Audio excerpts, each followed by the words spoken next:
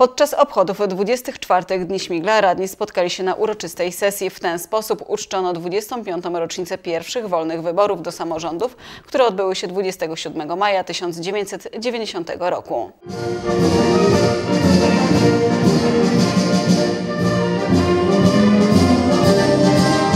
Sala widowiskowa Centrum Kultury w Śmiglu pełna była osób, które zarówno w przeszłości, jak i obecnie pracują na rzecz miasta i gminy Śmigiel.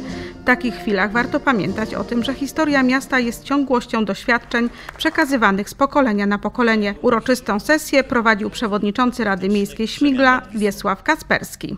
Rolę i miejsce samorządu te terytorialnego potwierdza tak zwana Mała Konstytucja z roku 1992 o wzajemnych stosunkach między władzą ustawodawczą a wykonawczą Rzeczypospolitej Polskiej oraz o samorządzie terytorialnym.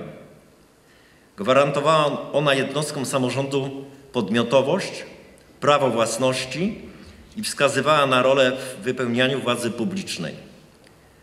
Podstawową jednostką stała się gmina. Być samorządowcem to szanować innych, ale szanować również siebie, a także słuchać głosu mieszkańców i współpracowników. Ustawa o samorządzie została uchwalona przez Sejm 8 marca 1990 roku. Po 25 latach jej obowiązywania można bez wątpienia powiedzieć, że przekazanie tak dużych kompetencji lokalnym samorządom przyczyniło się do rozwoju polskiej demokracji. To fundament polskiej wolności, mówił starosta powiatu kościańskiego Bernard Turski. Przywrócenie, proszę Państwa, idei samorządności dało ludziom nie tylko podmiotowość, ale stało się szansą na postęp ekonomiczny i rozwój społeczny Polski. Było wyrazem rewolucyjnego myślenia o odpowiedzialności i zaufania, że polskie społeczeństwo ten rodzaj odpowiedzialności uniesie.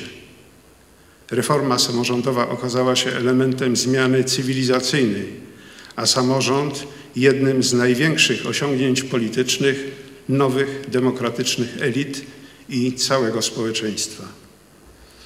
Dziś nikt nie ma wątpliwości co do tego, że to właśnie sukcesy samorządowców składają się na pozytywny obraz Polski, na sukces całego naszego kraju. Podczas uroczystej sesji w Śmiglu wręczono okolicznościowe medale pamiątkowe. W ten sposób uhonorowano ponad 120 osób, które na przestrzeni lat pracowały na rzecz śmigielskiej samorządności. Medale otrzymali burmistrzowie Śmigla Jerzy Cieśla, który swą funkcję sprawował przez trzy kolejne kadencje, Józef Cieśla, burmistrz czwartej kadencji, Wiktor Snela, który rządził Śmiglem przez dwie kolejne kadencje oraz Małgorzata Adamczak, która zwyciężyła w wyborach 30 listopada 2014 roku. Dziś, po 25 latach, możemy ocenić, jakimi jesteśmy gospodarzami. Powszechnie wiadomo, że Wielkopolanie od lat słyną z gospodarności i oszczędności. Tak więc jest to i naszą cechą. Cechą mieszkańców ziemi śmigielskiej. Najlepszym na to dowodem jest otaczająca nas rzeczywistość, będąca efektem starań kolejnych kadencji samorządów inwestujących zarówno w infrastrukturę gminną, jak i kapitał ludzki. Z chwilą wstąpienia Polski do Unii Europejskiej mniej istotne są problemy ustrojowe, a zaczyna się liczyć umiejętność planowania projektów inwestycji. To okres dla ludzi, którzy będą potrafili dobrze wydawać środki pieniężne z Unii Europejskiej. Widać dokładnie, gdzie skorzystano z tej szansy. Okres ostatnich 10 lat to okres budowania i modernizacji. To wielkie przyspieszenie w całym kraju.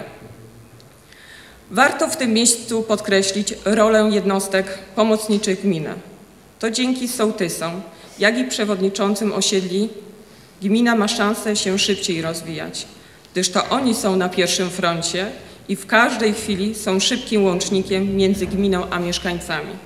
Medale 25-lecia wręczono także przewodniczącym Rady Miejskiej Śmigla Witoldowi Omieczyńskiemu Janowi Pietrzakowi, Urszuli Rankę, Zygmuntowi Koniecznemu, Janowi Józefczakowi i Wiesławowi Kasperskiemu.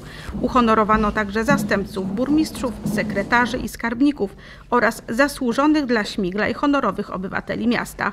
W tej grupie wyróżnionych znalazł się Stefan Grys, pochodzący ze Śmigla, wieloletni prezes Leszczyńskiego Akwawitu. W jubileuszowej sesji wzięła także udział delegacja węgierskiego miasta Balaton Fusfo. Umowa partnerska została podpisana w 2010 roku. Uroczystą sesję zakończył występ zespołu Absurd z klubu na Piętrze w Lesznie.